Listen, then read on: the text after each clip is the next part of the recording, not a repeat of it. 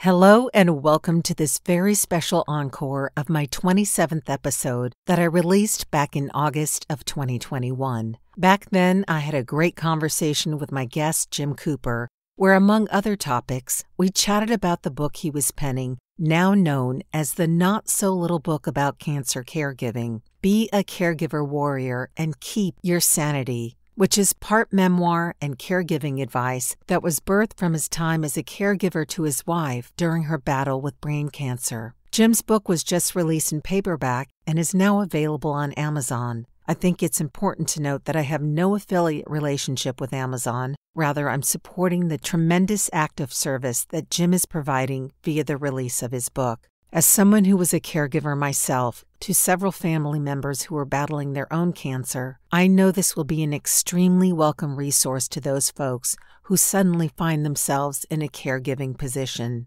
I hope you're having a wonderful summer and enjoy this encore presentation with my guest, Jim Cooper. But, you know, seeing their sense of play and optimism and joy in the midst of a lot of the chaos that their lives have gone through personally as well as you know all the other global chaos that's going on with you know the pandemic and yeah. you know wars and everything else you know i, I look at them and in, in one breath i get angry that we're giving them this world that we're giving them. On the other hand i look at them and say you know what? You guys may come up with a solution that you know my generation you know didn't come up with and you know maybe there's there's hope in that going down the road. Disinformation is spreading. There will be a we surprise so outbreak is the issue of pandemic. no social distancing at all. They said that they would express their um, concerns um, about the mask supply. Where's the mask? where's the glove a second wave is we all need some good news. a message for all the healthcare workers out there. Thank you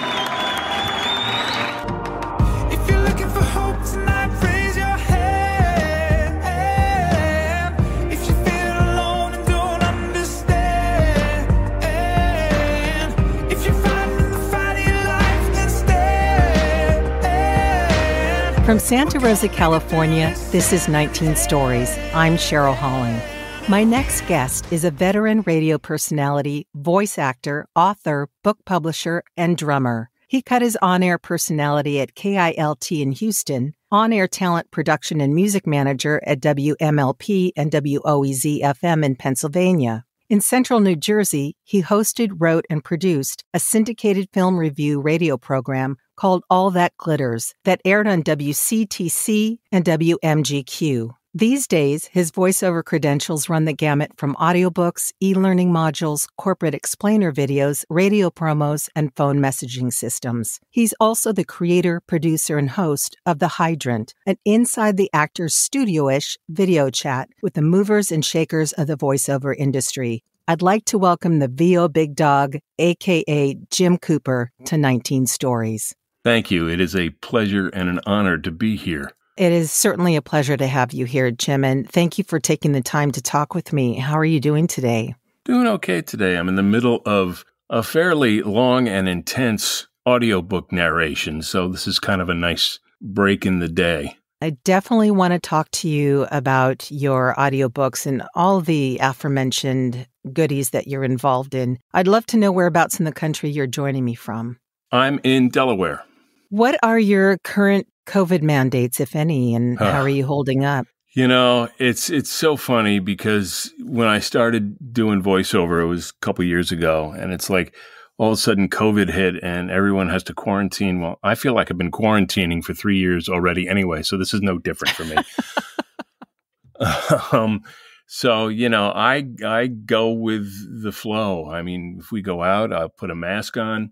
I couldn't even tell you what the mandates are because I really don't pay too much attention to it. It's basically how I'm feeling about what's going on. And, you know, right now, yeah, we're spiking back up and here we go again. So I'm going to be a little bit more cautious now. The VO Big Dog. How did you come to have that moniker? I was working with Corey Disson, who is probably the best marketing guy out there. And we were kind of hammering things out and trying to come up with a brand. And we knocked about a few things and my love of dogs and, and that kind of thing. And he's, he said, How about Top Dog? And I was like, eh, that sounds a little corny. How about VO Big Dog? And he was like, cool. So it just, that started it. And, you know, we developed all the, the logos and everything and, and thus all the dog and doggish references in just about everything I do. It's apropos because you do have a very vivacious and big personality as well. so I would love to go back to your roots in radio, as I've heard it said numerous times that coming from radio into voiceover can be the kiss of death for a voice actor. And given there are so many skills one develops in radio, especially if you began at a time, which you did, when analog slide pots, reel to reel editing your tape by hand were the norm. and I think that kind of training and background would be a huge benefit can you tell us how you became involved in radio and how that training helped or hindered your entry into voiceover? You know, and I've often often thought about how did I end up in radio? And I try to think back, and it's like I can't. I don't think I can point to a specific point in time. All I, I remember is I was in college at Susquehanna University, and I lucked out because they had a 5600 watt FM station, WQSU, so it was probably one of the most powerful college radio stations on the East Coast outside of, you know, New York at that time. And I don't remember how I got involved, but I got involved. And me and a couple friends of mine, we kind of took over the radio station for three or four years and we were just having a blast doing it. And, you know, I love doing it. So once I got out of college, um, I thought, okay, this is what I want to do. I'm going to go find some radio work to do, and started, you know, part time and then full time, and did a bunch here, there, and everywhere. And eventually, once got married and started raising a family, realized that radio and eating with a family don't go hand in hand. It's just not going to work. So I put it aside for a while. I still ended up doing some part time stuff at Magic 98.3 and CTC. It was on air did the film review show, which was also fun. I got paid to go to the movies. How cool is How that? Wonderful that I got is that? paid yeah. to go to the movies. Yeah. so that was that was a lot of fun. And then I put all that aside and did some various other things with my career. But it always in the back of my mind is like, I really want to get back behind the mic again at some point in some way. And I remember going to a seminar in New York that some agent was holding and there are about 35, 40 people there, and they were talking about, you know, voiceover and gave everyone a script to read. And one by one, everyone got up in front of the class and did your script. I got a script for Home Depot. And I think at that point, Gene Hackman was doing the voiceover work for Home Depot. So I read the script and she said, she looked at me and she goes, do that again. And I did it again. And she looked at me and said, You're in radio, aren't you? I said, Yeah. She said, Well, we don't want announcers. We want actors. Sit down. Oh, wow. So I was like, Okay. So I guess I don't have the skills to do this. So I let that direct me and put it aside. And then around 2016, I left the corporate world because I was in the corporate world and left and was trying to figure out what I wanted to do next. And got an email, and I forget who it was from, but it was about a uh, seminar a webcast with J. Michael Collins about voiceover work. And I thought, well, what the heck? I know I've got these announcer traits. Let's see if, you know, maybe I can do something with them. I don't know. So I went to the webinar, ended up contacting Jay Michael after it. And we talked for a little bit, and I worked with him for a while and spent probably the first year trying to unlearn all the announcer stuff that I'd spent so many hours doing on air. So, and it's still something that I have to be conscious of, not falling into announcer gimmicks and trying to be more authentic and conversational. And thank you for explaining that because that's what I was wanting you to explain to our audience as to why it can be considered the kiss of death because of that whole announcer mindset. But given that you came from radio and that is what the style of radio was at the time and Sure. the style of the ads at the time, it's a really hard mindset to unlearn. It's complete retraining. It almost sounded like this woman shamed you. I mean, that's a really It felt like that. It yeah, felt it's like that. So. really ugly way to ingratiate yourself as a, a as a teacher And also for the other students who are probably shaking in their boots, going, I, am not going to get up after that. Well, it, it, was interesting because there was one woman there who was, uh, um, who got up and did her thing, and she kind of looked at her and said, "Do you have a demo reel?" She said, "Yeah." She's like, "Give it to me because I, have got things for you to do." So I was like, "Okay, I'm on the other end of that spectrum." But but to put to put it in perspective, she was right. I mean, they, they weren't looking for announcers. They needed actors. I just didn't know that.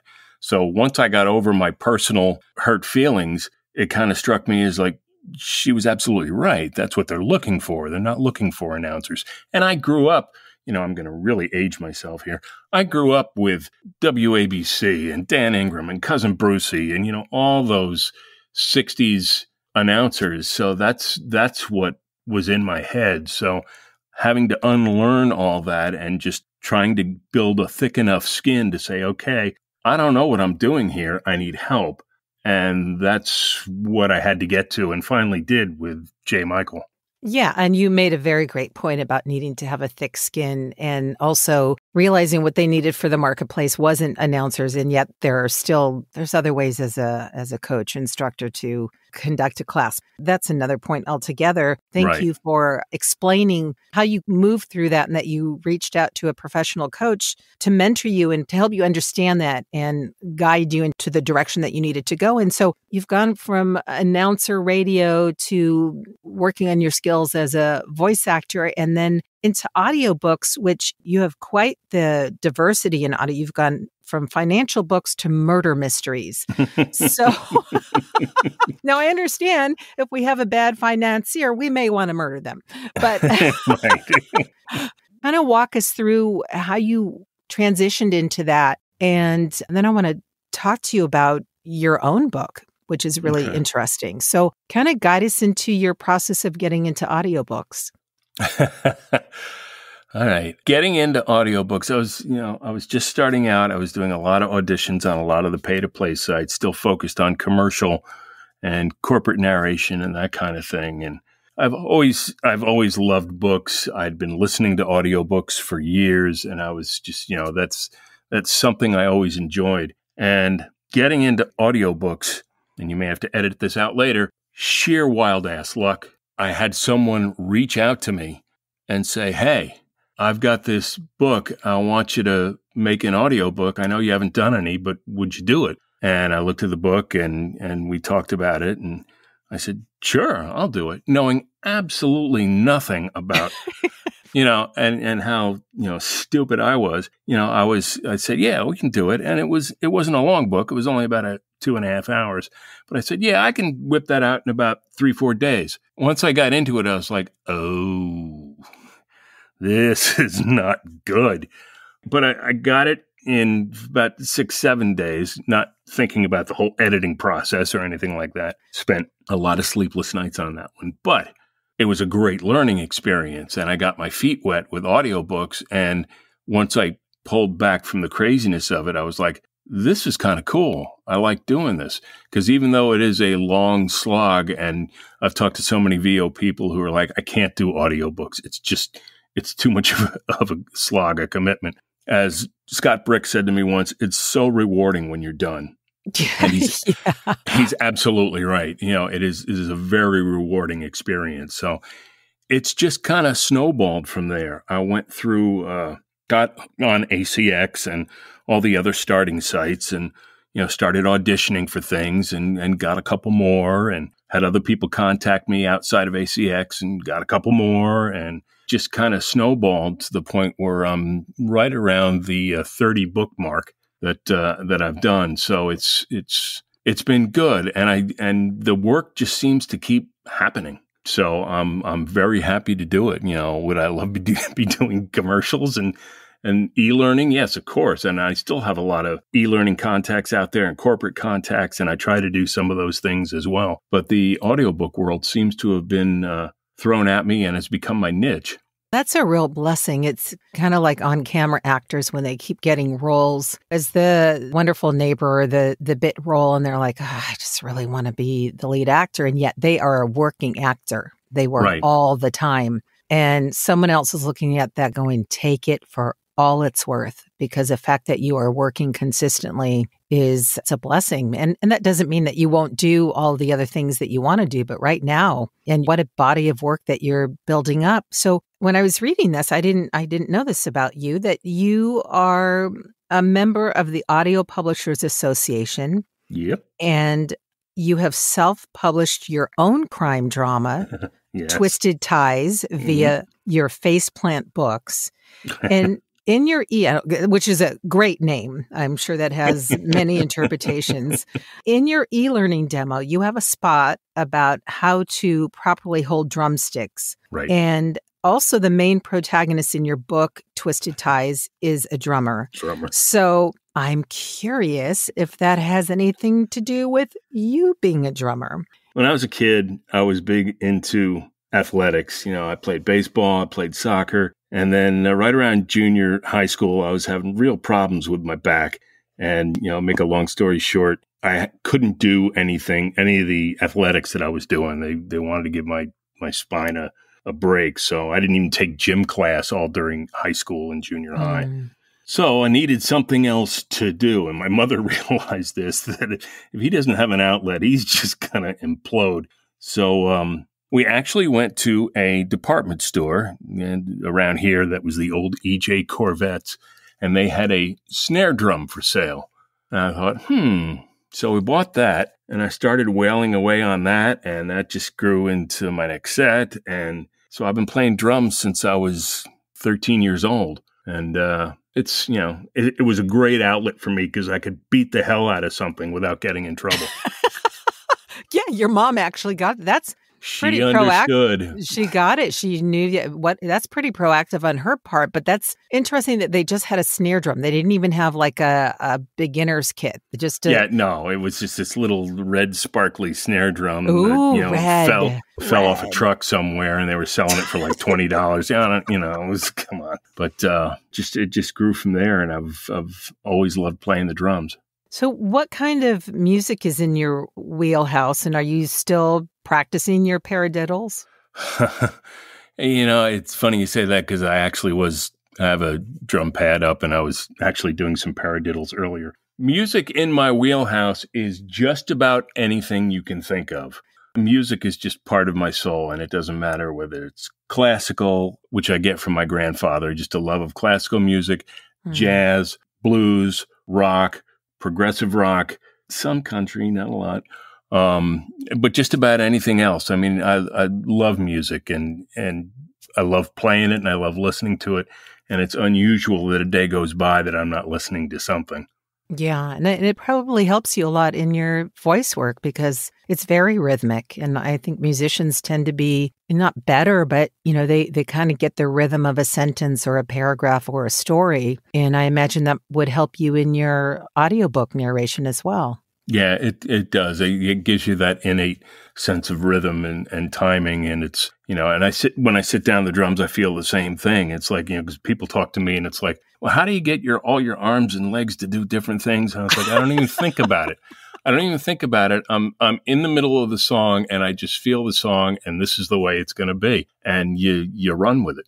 What blows my mind are the, the drummers who can also sing. You think of the Phil Collins, you think, I mean, we could go on down the line of the drummers right. who sing, but it's such a coordination in the first place. But it's practice, practice, practice, right? I, I guess. Fortunately, uh, I don't have that problem because bands have asked me to sing. I was like, you don't really want me to sing. You really don't want me to sing. So. Oh my God! Do you still have the red sparkly snare drum? No, no, that's that's long gone. I now have a uh, a green wood grain uh, Yamaha kit. Ooh. That uh, yeah, it's a good looking kit. I mean, I fell in love with it when I saw it, and uh, it's a good looking kit. I like it a lot. Yeah, Yamahas are gorgeous sounding drums. I'm gonna that- say you're you're related to a drummer. I'm related to a drummer. Yeah, he he actually is awaiting his uh, shipment of a custom drum kit that he ordered that is going to be shipped on the barge one of these years. So, what, he buy just, a DW kit? Uh, you would think after going through the journey with him, oh my, no, it's not a DW. oh dear goodness, I you know I'll, I'll I'm sorry, I didn't mean later. to put you on the No, spot. it's okay. It's just it's just getting older, Jim. The I names, understand. I if, understand. Right? Okay. Yeah. If it's not written, I have my name in my tags in my shirts now. I want to make sure, and my address. I want to make sure I can get home. I can remember my first phone number 55, 60 years ago, but don't ask me what I had for lunch today because me too. right out me of my head. Me too. Yes. 838 0681 from when I was five years old. 233 2023.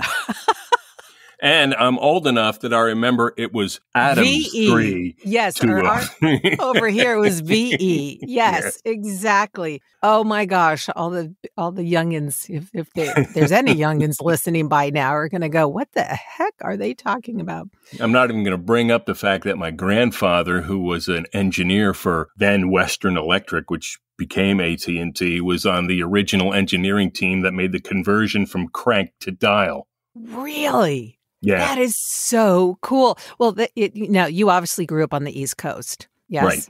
Yes. Okay. Well, being on the West Coast out here, it was General Telephone, which went on to become Verizon. Right. And my mom worked for General Telephone for a while. And when I mentioned, you know, I've been, you know, I was with Verizon, I'm no longer now, but I would say I've been with them since they were General Telephone. And people look at you like, what the heck are you talking about? It's like, oh, never mind. It's, That's interesting because I worked for about 13 years for Verizon. Oh, you did? Yeah, yeah, on the uh, wireless side and on the East Coast. What did you do for them? I was a IT project manager. Worked with the teams that did all the in-store software that the uh, retail people used and the billing system and all that other stuff. Jim, in your bio, you mentioned that for the past five years, you have been a caregiver to caregiver volunteers for Memorial Sloan Kettering Cancer Center. Mm-hmm. Because you've experienced the same process over the past couple years. And I'm curious if you wouldn't mind sharing what does that mean for you? In 2014, my wife was diagnosed with brain cancer, which came out of the blue to both of us and just, you know, as as anyone will tell you who's been through it when you hear that diagnosis you have cancer your world immediately changes and, yeah. and becomes something so that sorry. you never even imagined she's fine by the way she's been clear for six years so oh it's, wonderful it's cool but we both went through a lot getting to the diagnosis. And then once we got the diagnosis, she was treated at Sloan Kettering in New York and got such an amazing level of care from the nurses, the doctors, food service people, everybody there was just as good as you can get. I mean, we feel so lucky and so blessed to have had that experience there with them because it was, we couldn't have asked for anything better. But going through that, it was at a time when the industry was really just starting to pay attention to caregivers and realizing that the stress and pressure that caregivers were experiencing was the same or similar to that that the patients were were experiencing. Yeah. And there weren't a lot of resources available at that time for caregivers. This is 2014, 2015. So once once we got on the, the, the back end of, of treatment and things had gone well, I said to the neurologist who was working with my wife, I said, I really want to give back to you guys and not necessarily in a monetary way, but just because our experience has been so good. And he talked about a volunteer organization that was just starting within Sloan Kettering. So I got in touch with the, the, the woman, Wendy Benia, who was heading up the volunteer process, and they were just starting the caregiver to caregiver process. They had a patient to patient process where patients could call other patients who'd been through it as kind of a support kind of thing. So they had just started that with caregivers.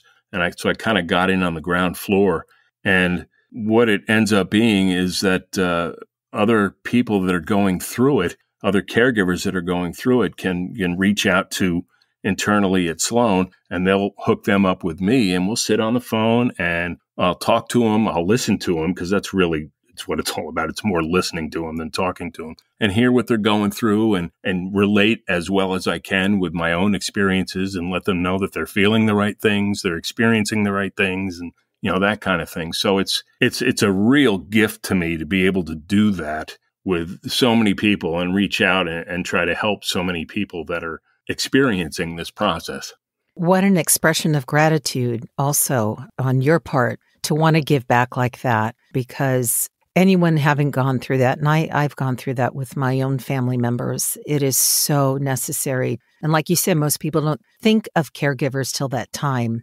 Right. And and especially now with the COVID numbers in our country, right. Doctors and nurses and caregivers are going to need more and more and more of that because they're re- it's kind of like being on the front lines of of war. You're seeing things that most people don't see in a lifetime and now all of a sudden in addition to COVID there are still cancer patients and heart patients and other patients who are needing attention. So thank you for sharing that. I'm so happy to hear that your wife is doing yeah. better and on yeah, the other doing, side of that. she's doing great. And you know the the other thing about that is that i i just was repeatedly shocked by everything that i didn't know about cancer and about caregiving. And i was just we were constantly walking around the hospital because her treatments were were every other week for about five months and we had to be in there for like three or four days. So we would walk around the corridors and just feel so grateful knowing that our situation that we were in could be infinitely worse than mm-hmm. it was because so many people were there for their second, third, fourth time, whatever it happened to be. So it's it it was it really kind of opened my eyes for the need for this kind of thing. And there was one other person there, and I won't go through the whole story, um, but she and I kind of hooked up, and she was there from Switzerland, had left her family to be there to support her mother. And she and I kind of got to talking. And there was one day I was walking down the corridor, and she was leaning up against a wall with her head down, and I knew what that look was. Mm. It was mm. she was just enough. And I walked up to her, and she kind of looked at me, and I gave her a hug, and you know she burst out in tears, and we talked about it, and you know she was feeling the guilt, she was feeling the pressure. I'm like, this is not easy stuff. So the other side of that coin, and I know we haven't talked about this yet, was okay, what else can I do here? And well, what else I did was write my second book. And it's a nonfiction caregiver survival manual with all the tips that I learned and using me and my wife's story behind it as kind of backup. So it's kind of a humorous but serious look at hey, if you need some help with caregiving, here's something, here's a resource you can use. So I'm I'm done writing it. It's in the process of of being published. I don't know when it's going to be out, but it's done and it's out there. And I'm hoping that I can get it out there and it'll be of some help to somebody. I would imagine it would be a, a tremendous help because those are the resources and tools that people need. And it obviously came out of very personal experience. So you have firsthand knowledge of how to speak to the need that you know, you mentioned it perfectly. Until you go through something, how on earth would you know? Mm. You know, it's like we hear of open heart surgery all the time. How on earth would anyone know how involved the recovery is on that until you've walked through something, whether it's surgery or cancer or fill in the blank? How would you know? So, how beautiful that you came up with this resource, rather, because I would imagine during that time you were facing a huge amount of fear and so I'm curious, was this a tool that you were working at just kind of writing down your thoughts at the time, or were there other tools, or did you have a particular faith that pulled you through this time? There is, on the day that we got the diagnosis, um, and the doctor turned to us and said, you know, it's lymphoma. I don't think I had ever felt a fear like that before in my life. And I've got some definite fears. You know, I hate flying. You know, I used to be afraid of bats, you know, that kind of stuff. But this was a level that I had just never experienced before. I mean, I just, eh, you know, if you had hit me in the head with a ball peen hammer, it probably wouldn't have been any different, mm. you know, and so it was that level of fear and it's, it's, and it stays with you until you get into the process of treatment. And then it really subsides because now you've got answers, now you've got a plan, and and it's a little bit of a respite. But on the first night of her first treatment, which was Thanksgiving week 2014, and what a treat that is to be in the hospital Thanksgiving um, for treatment. I was lying there looking at the ceiling, going, I need to write about this somehow. And so I started making fo- um, started making posts on Facebook. And I called them fringe observations because I felt like I was like on the fringe, on the edges, mm-hmm. observing what was going on. And it and it served a couple purposes. One, it gave me an outlet to to write about it. Two, it kept all the family people and friends informed of what was going on. I didn't have to make 85 phone calls every day. Which is exhausting let, too. Which is exhausting in and of itself. So, you know, I, I started doing, you know, the posts every day and talking about it. And the thing that just blew me away, and Sally, my wife, it blew her away too. From that very first post, people from our high school class of 74, that's how far, came out of the woodwork and were, were leaving comments. And, and, you know, every post I did, there'd be 200, 200 likes or 200 comments. wow. And, you know, it was just like we felt so blessed. And, you know, to have all, you know, Sally would look at the, at the phone with all the comments with, you know, tears running down her face going, where, what, why me? Why, wh- how do they, you know, who am I? You know, and it's just like you don't understand the impact you have on people. So those posts kind of were the impetus to make the book. Isn't that the beauty of social media when it's used as properly? Yeah. yeah, used properly. Because prior to that, how would she have ever known other than people either calling or coming by or sending cards? But to have right. that immediate dose of encouragement during uh, what was the most difficult time for her and right. for you. So, and and it started because of what you were doing. Thank you for sharing that very intimate story and how that's turning into I know this is not why you did it, but it may be something that you can also narrate from a oh, very I already have. Oh, you have? Okay. Yeah, okay. I've already recorded it. I've already okay. recorded it. yeah, and I and what better person to do it because it, it's well, definitely hard. Yeah, exactly. I figured who else is going to do this? I can do it better. And I think you've just answered this next question, but I'll ask you anyway because it may be something in addition to what you just shared. But if you had to pick one of your greatest achievements, professionally or otherwise, what would it be? Wow. Um for me, and I'm going to give you two answers. For me personally, was getting that first book published because that was a, a long term goal of mine. And I didn't care whether it sold or not. My goal was to have it published. Hmm. The other side of that coin, if I if I broaden the scope of it a little bit, I kind of feel like George Bailey. It's all the connections I have with friends and family and having you know, a marriage of 40 some odd years and having two wonderful kids and three grandkids and, you know, and all the people that are either in my life currently or have passed through my life at, at one point or another that uh, I've been blessed to be a part of. That to me is means more than anything else. What better time for that to have a more poignant meaning? I mean, that's beautiful because I think this past year and a half has hopefully taught us that it's not the things, it's the people. That's the other thing about, you know, the the cancer experience.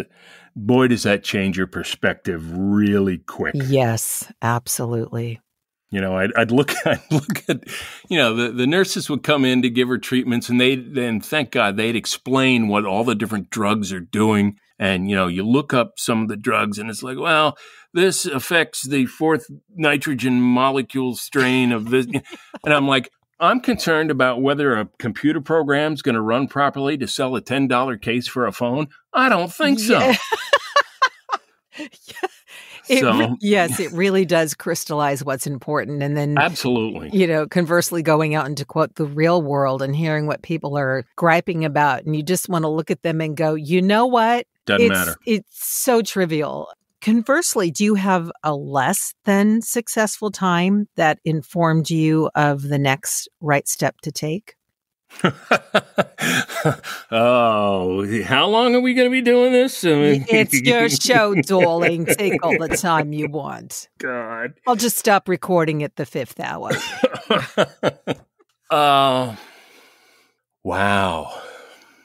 You know, I've been blessed and and most people would say, no, you haven't. Come on. But I've, I've been blessed to have made so many mistakes in my life that and been able to learn from them that, um, you know, I don't, I don't know if I could, I could, I could pick one unless we wanted to turn this into a group therapy session, in which case we'd be here for a while. But, um, I have to say that when I was working in radio in central Pennsylvania, and we had just had our second child. And I was actually had left radio and ended up working at a uh, photography store and studio for a while. And Sally had uh, quit work and was home taking care of the kids, and it, it, money just wasn't working. You know, we couldn't pay our bills, we couldn't pay anything. And I ended up going to work for my dad, who was in real estate at the time back in New Jersey. And it took me years to realize that this was a solution to a problem. You know, this this is what needed to be done because of the choices that both she and I had made. Now, having said that, that seven years that I worked with my dad probably did more psychic damage to me than than anything else I can I can imagine in my life. But mm. you know, it's coming out the other side of that. You know, pushed me into a lot of things that I needed to be pushed into to deal with a lot of crap from the past. And, you know, thankfully I did it and, and got with the right people. And, you know, on the other side of that, even though it was a long struggle and it was hard work, the other side of that is just so much more freeing that, you know, I certainly want, wouldn't want to do it again, but did it have its good outcome? Yeah, absolutely. When we go through things like that, they usually do if we pay attention to the lessons and what it is we're supposed to grasp while we're going through it. And it obviously did. You obviously came out the other side right. and have an appreciation for what that time meant in your life. So, Jim, what makes you hopeful? Hmm. My grandkids make me hopeful. You know, I've got 12 uh, year old twin girls and a three year old girl that are just unreal uh, the three year old's, you know, three going on 25. And yes. You know, the twins are turning 13. So that's going to be experience as, as well. But, you know, seeing their sense of play and optimism and joy in the midst of a lot of the chaos that their lives have gone through personally as well as you know all the other global chaos that's going on with you know the pandemic and yeah. you know wars and everything else you know i, I look at them and in, in one breath i get angry that we're giving them this world that we're giving them. On the other hand i look at them and say you know what? You guys may come up with a solution that you know my generation you know didn't come up with. And you know maybe there's there's hope in that going down the road. And maybe they'll be more aware of some of the things that need to be tackled particularly in this country.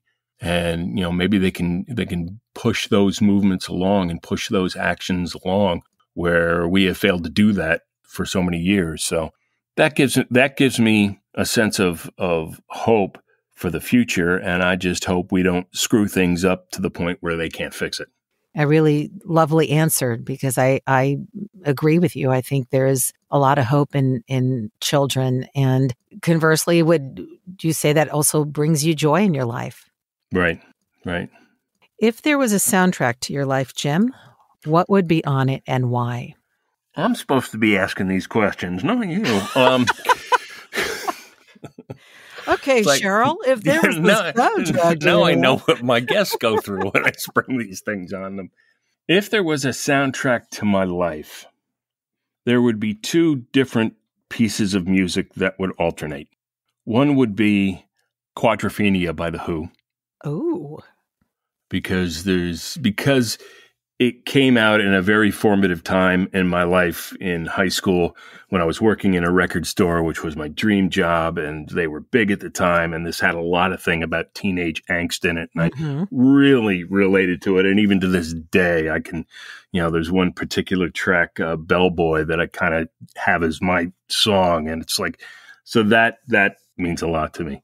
The other piece of music is a tone poem by Richard Strauss called Ein Heldenleben, which is a wonderful piece of music, but it's just, and Ein Heldenleben means a hero's life. And it's, it's just, the music is just so well orchestrated and conducted in it. I can't tell you why, but it just really, really reaches me. And that is like my, my go to piece of classical music to get me going which is a very eclectic range of what you just gave. I love that. We, we won't get into the things like Green Day and Bad Religion and Dream Theater and the punk and the prog and, and that kind of thing, which is also part of that whole wheelhouse. So we'll, we'll let that go.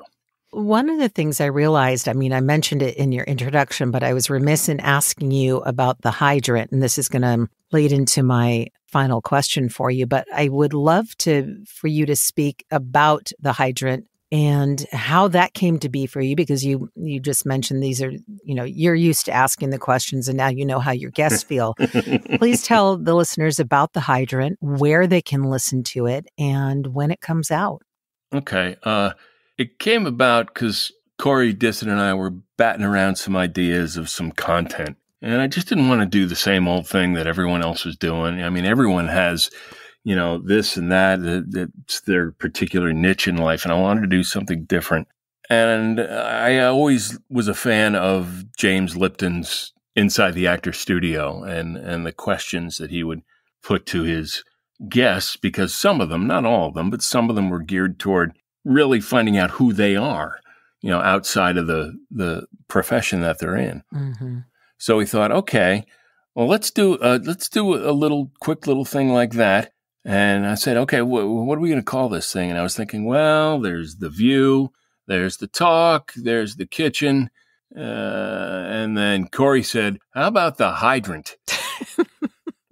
with the dog, with the mm-hmm. big dog thing. And there's all sorts of gross innuendos we can make about you know get a leg up at the hydrant and you know that that kind of thing so it was um i was like yeah that'll work that'll work and so i just started putting it together i invited some people to to do and and fortunately everyone was like on board with it supporting me with it and the, very first guest was bev standing and then went into jen henry and patrick kirschner and it's it's been great and each episode comes out uh, every Monday morning at 10 a.m. I post it on all my social media platforms, the big four Facebook, Twitter, Instagram, and LinkedIn. It's also on my website, jimcoopervo.com. And it's just, it's their little 10 minute uh, snippets of me asking them bizarre questions, you know, like what's your favorite curse word? If you were an ice cream flavor, what would you be? And and people look at me like, ah, he's out of his mind. And then we'll usually wrap up with I ask people, you know, what's what's a good piece of advice you would give to someone coming in the VO business for the first time. So it's available every week. You can look at all the episodes on my website.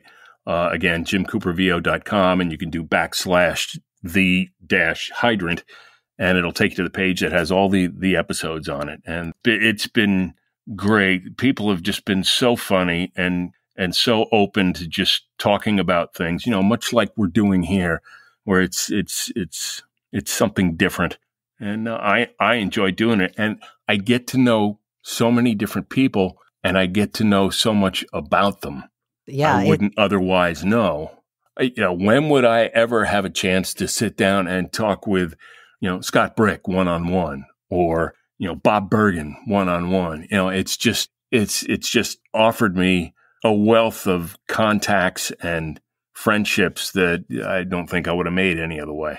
And for the listeners who aren't familiar with those names, those are some really prominent personalities in the voiceover business that you would know their characters and or voice but may not know them by name. And that's why this is a fantastic outlet to not only hear them but to see them. And as you mentioned hear things that you wouldn't normally hear about them. Right. So thank you very much for for talking about that. And you mentioned your website. Are there any i will definitely have it in the show notes. Are there any other social media handles that you want to give out yeah everything is jim cooper vo on all social media except for Instagram. And it's a long story why that, that is what it is. But on Instagram, it's your VO Big Dog. Well, that makes perfect sense. I, I tried to keep it within, within reason. So. That's kind of smart, Jim. So I thank you so much, VO oh, thank Big you Dog. For, for having me. This was this was fun. I love doing this, and um, like I said, I'm I'm so grateful and honored that uh, you invited me to be on here. It's cool to be on this end of the conversation for a change. I'm very, very grateful that you joined me, especially in the midst of doing an audiobook, because that is such a long and laborious process that to come up for air to and spend an hour with me, I'm very honored. And I wish you 46 years more of beautiful, healthy marriage to your beautiful bride, Sally. And so happy to hear the good outcome on the other side of, of such a mm such a heart wrenching story that you shared. And yet there is a lot of beauty. I mean, number one, that she came through it, but that you have a resource for other caregivers and a book that you've now narrated. And I wish you a lot of luck on that. Thank you. You're Thank very you. welcome, Jim. And is there anything else you'd like to share before we say goodbye? No. Which is the worst, then. the worst answer I could possibly give. But but, but no, I, I feel pretty good about what we've done, and, and everybody just stay safe and say stay healthy and use your head for crying out loud. Amen. Or we're going to send the big dog your way. Thank you again, Jim. I appreciate it. Thanks, Cheryl. Appreciate it. You're welcome. I'd also like to thank the following news outlets for the use of their clips in so aptly painting the picture of the fear that we're facing during this pandemic BBC, PBS, Now This, UNESCO, and Some Good News. I especially want to thank Joel and Luke Smallbone, otherwise known as the group for King and Country, for allowing me to use an excerpt of their song Together, which could not be a more hopeful and inspiring song for such a time as this. Finally, I'll leave you with the following from Proverbs 23:18. Surely there is a future, and your hope will not be cut off. Thank you again for joining me today. Feel free to offer feedback or a story idea at 19 stories at soundsatchelstudios.com. Visit my website at soundsatchelstudios.com, via Instagram at Cheryl Halling VO. I look forward to sharing more stories on the next episode of 19 Stories from Fear to Hope. Until then, stay healthy and hopeful. Together with our differences, together we are bolder, braver, stronger.